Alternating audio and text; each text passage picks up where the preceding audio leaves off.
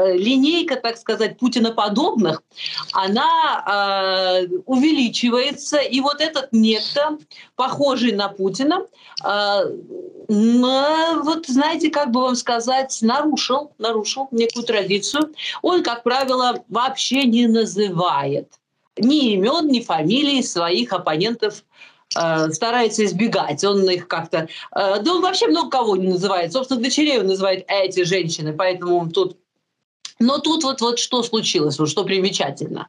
Он едва подбирая слова, этот дед изображал из себя биографа и знатока жизни генерала Залужного.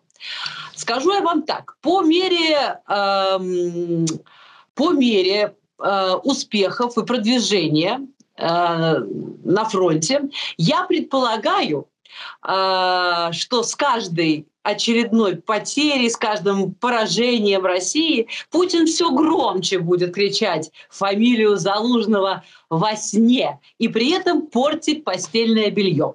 Поэтому будем считать, что это была, так сказать, Первая робкая попытка – это была репетиция. А, скоро а, фамилия генерала Залужного будет содрогать все путинские бункеры, включая, конечно, бункер Константиновского дворца.